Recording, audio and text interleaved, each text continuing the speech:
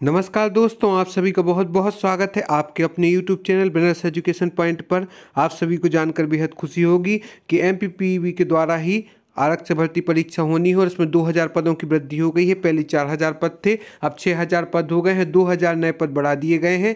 पहले 4000 की भर्ती की मिली थी मंजूरी, सुलझ गया है विवाद। अब पीवी के ज़रिए होगी पुलिस की भर्ती। देखते हैं क्या है पूरी सूचना। उसके पहले अभी तक आपने हमारे चैनल को सब्सक्राइब नहीं किया हो तो सर्वप्रथम आप हमारे चैनल को सब्सक्राइब करें, वीडियो को लाइक एवं शेयर करें। एवं डिस्क्रिप्शन बॉक्स में जाकर इंस्टा मौजूद के लिंक के माध्यम से हमारे मुख्य परीक्षा एवं प्रारंभिक परीक्षा के हस्तलिखित नोट्स आप परचेज कर सकती हैं।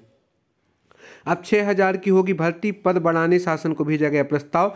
मध्य प्रदेश पुलिस में होने वाली भर्ती को लेकर विवाद सुलझ गया है। पुलिस आरक्षक की भर्ती प्रोफेशनल एग्जामिनेशन बोर्ड, पीवी के ज़रिए आयोजित होगी। आरक्षक भर्ती की लिखित परीक्षा आठ जनवरी को अपने तय समय से ही होगी। भर्ती लगातार टलने के कारण 2000 पद बढ़ा दिए गए हैं। पहले पुलिस आरक्षक की भर्ती 4000 पदों के लिए होनी थी, जिसे अब बढ़ाकर 6000 कर दिया गया है। इसको लेकर शासन को प्रस्ताव भेजा गया है। पीएचक्यू के आला अफसरों की माने तो पद बढ़ाने को लेकर शासन ने सैद्धांतिक सहमति प्रदान कर दी है। इसलिए नए पदों की भर्ती को लेकर एक दो दिन में मंजूरी मिल जाएगी। मध्य प्रदेश में वर्ष 2017 के बाद पुलिस आरक्षक की भर्ती अभी तक नहीं हुई है।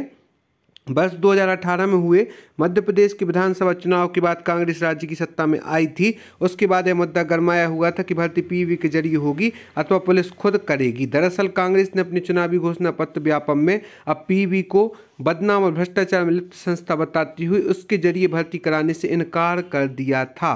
तो ये कयास लगाए जा रहे थे कि अब जो भी भर्ती होंगी, पुलिस संबंधी पुलिस के द्वारा ही होंगी।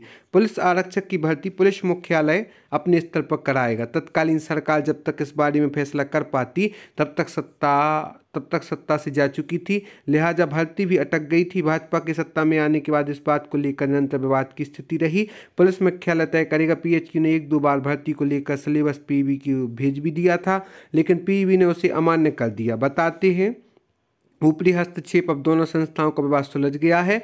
भर्ती व्यापम के ज़रिए कराने का फैसला हो गया है। पीवी ने पुलिस आरक्षक की भर्ती की प्रक्रिया भी शुरू कर दी है। एडमिट कार्ड सभी के आ चुके हैं। आठ जनवरी से भर्ती की परीक्षा भी आयोजित करने जा रहा है। पुलिस आरक्षक की भर्ती के लिए प्रदेश के चौहत्तर केंद्रों में परीक्षाएँ आयोजित की जाएँगी। उक्त परीक्षा केंद्रों में बारह लाख बहत्तर हज़ार उम्मीदवार शामिल होने जा रहे हैं। भोपाल शहर में कुल सोलह केंद्र बनाए गए हैं। काफ़ी मात्रा में देखा जाए तो बाहरी राज्यों से उम्मीदवार भी आने वाले हैं, लगभग एक लाख के आसपास।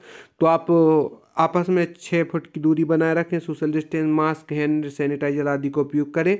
भोपाल की परीक्षा केंद्र में दो लाख पैंतालीस हज़ार। उम्मीदवार परीक्षा देंगे। भोपाल के अलावा इंदौर, ग्वालियर, जबलपुर, उज्जैन सहित कुछ अन्य शहरों में भी परीक्षा केंद्र बनाए गए हैं। सागर में भी परीक्षा केंद्र बनाया गया है। तय किया गया है कि किसी परीक्षार्थी को परीक्षा शुरू होने के बाद परीक्षा समाप्त होने तक परीक्षा हॉल छोड़ने की अनुमति प्रदान नहीं की गई है। कोरोना की संभावित तीसरी लहर को देखते हुए परीक्षा के दौरान सभी अभ्यर्थियों को, सभी परीक्षार्थियों को कोविड प्रोटोकॉल का पालन करना अनिवार्य होगा। परीक्षा दो पालियों में संपन्न होगी, जैसा कि आप सभी को विदित है।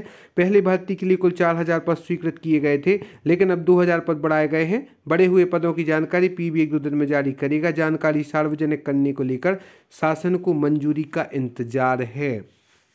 तो अब यह आपके लिए अच्छी खबर है। कितनी मात्रा में अभ्यर्थी थे? बारह लाख बहत्तर हज़ार के आसपास उम्मीदवार थे। इसके बाद में आपको फ़िज़िकल टेस्ट भी हो जाएगा। फ़िज़िकल टेस्ट के बाद में आपकी फाइनल चयन सूची जारी होगी।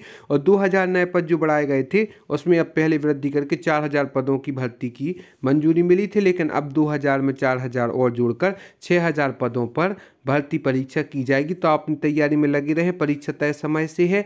आठ जनवरी से सत्रह फरवरी तक यह परीक्षा आयोजित होने वाली है। तो आप भी अपनी तैयारी निरंतर रूप से करते रहें और आपको जहाँ जहाँ भी हमारे मार्गदर्शन एवं दिशा निर्देश की आवश्यकता होगी, हमारे चैनल हमेशा आपके साथ है। आप हमें फेसबुक यूट्यूब इंस्टाग्राम टेलीग्राम आदि के माध्यम से भी ज्वाइन कर सकते हैं। एवं डिस्क्रिप्शन बॉक्स में जाकर इंस्टा मौजूद लिंक से हमारे मुख्य परीक्षा प्रारंभिक परीक्षा के स्थल के से परचेज कर सकते हैं।